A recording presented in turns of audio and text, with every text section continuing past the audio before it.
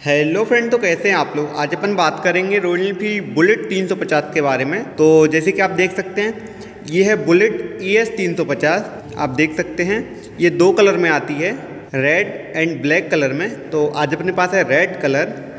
तो सबसे पहले इसको चारों तरफ़ से दिखाता हूँ मैं आपको। ये देखिए, ये लेफ़्ट साइड का लुक है और आप और आप ये पीछे का लुक देख सकते हैं, काफ़ी बढ़िया लुक है। और ये राइट हैंड साइड का लुक है। ये देखिए। और ये फ्रंट लुक देखिए।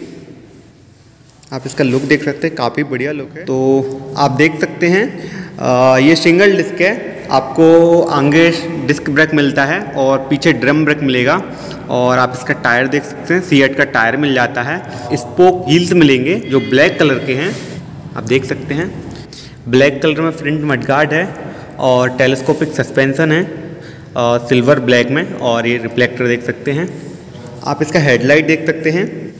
हेलोजन हेडलाइट है और दोनों पार्क लाइट मैं चालू कर ये देखिए आप इसका हेडलाइट देख सकते हैं। काफ़ी बढ़िया हेडलाइट है और दोनों पार्क लाइट देख सकते हैं। ये दोनों पार्क लाइट और दोनों इंडिकेटर देख सकते हैं। काफ़ी बढ़िया इंडिकेटर हैं और और आप इसका टैंक देख सकते हैं। रेड कलर में टैंक मिल जाता है।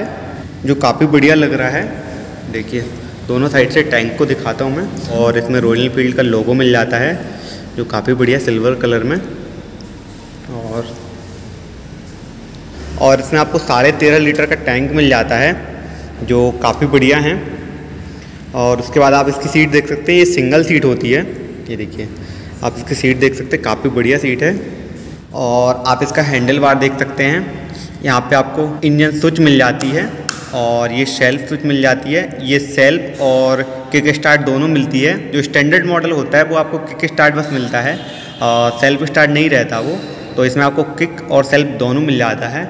और इस साइड हॉर्न बटन है ये। और ये इंडिकेटर तो लेफ़्ट राइट ऑफ़ और ये पास लाइट है। और आप इसका स्पीडोमीटर देख सकते हैं। एनीलॉग स्पीडोमीटर मिल जाता है। और यहाँ पे A B S malfunction और फ्यूल इंडिकेटर मिल जाता है और ये की स्विच है और उसका हैंडल लॉक आपको साइड में मिलता है। यहाँ पे हैंडल लॉक मिल जाता है। ये हैंडल लॉक हो गया है और यहीं से अनलॉक हो जाता है। और इसके इंजन की बात करें तो आपको इंजन एकदम प्योर ब्लैक कलर में मिल जाता है। पूरा ब्लैक कलर में है। 350 सीसी का इंजन मिल जाता है। Air cool, four stroke, electric fuel injector system के साथ में। आप देख सकते हैं एकदम ब्लैक कलर में इंजन है। आप इसका गेयर लीवर देख सकते हैं। एक आगे डलेगा, बाकी गेयर चार पीछे डलेंगे। और ये बैटरी बॉक्स है। इसमें आपको 12 वोल्ट की बैटरी मिल जाती है। और आप ये पैनल देख सकते हैं। बुलेट तीन सौ पचास का स्टीकर मिल जाता है, जो काफ़ी बढ़िया लग रहा है। और मैं इसे खोल के दिखाता हूँ तो देखिए। इसमें आपको टूल किट मिल जाती है, सभी प्रकार के फ्यूज़ मिल जाते हैं और कपलर मिल जाते हैं। इनकी मैं डिटेल में वीडियो बनाऊँगा। आप देख सकते हैं। और ये शाड़ी गार्ड देख सकते हैं। और पीछे आपको ड्रम ब्रक मिल जाता है और सीएट का टायर मिल जाता है और ब्लैक कलर में आपको स्पोक व्हील्स मिल जाते हैं। और आप पीछे, आपको पीछे आपको रॉयल फ़ील्ड का स्टिकर मिल जाता है, जो काफ़ी बढ़िया लग रहा है। और ये बैक रेस्ट देख सकते हैं। पीछे का टेन लाइट देख सकते हैं। और दोनों इंडिकेटर देख सकते हैं। ये राइट साइड का लुक है। और यहाँ पे आपको चेन स्पाकर देख सकते हैं। चेन कवर देख सकते हैं ये। और उसके बाद आप सालेंसर देख सकते हैं। पूरा निकल में सालेंसर दिया हुआ है, जो गाड़ी को काफ़ी अच्छा लुक दे रहा है ब्लैक एंड निकल के कॉम्बिनेशन में। तो मैं इसका साउंड सुनाता हूँ आपको।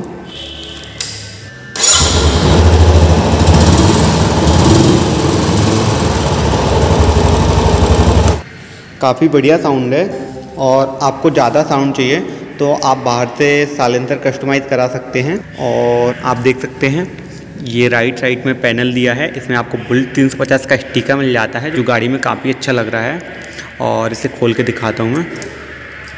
और ये एयर फ़िल्टर बॉक्स है, इसके अंदर आपको एयर फ़िल्टर मिलता है। और इसके बाद आप इसका इंजन देख सकते हैं। ई एफ़ आई तीन सौ पचास सी सी का इंजन है और आप ये देख सकते हैं किक। ये आपको किक एंड सेल्फ दोनों मिलती है। जो स्टैंडर्ड मॉडल आता है, वो आपको सेल्फ नहीं मिलता, वो आपको बस किक किक स्टार्ट बस मिलता है। और आप इसका ब्रेक पेडल देख सकते हैं। जो काफ़ी बढ़िया है और आप गाड़ी का लुक देख सकते हैं, काफ़ी बढ़िया लुक है।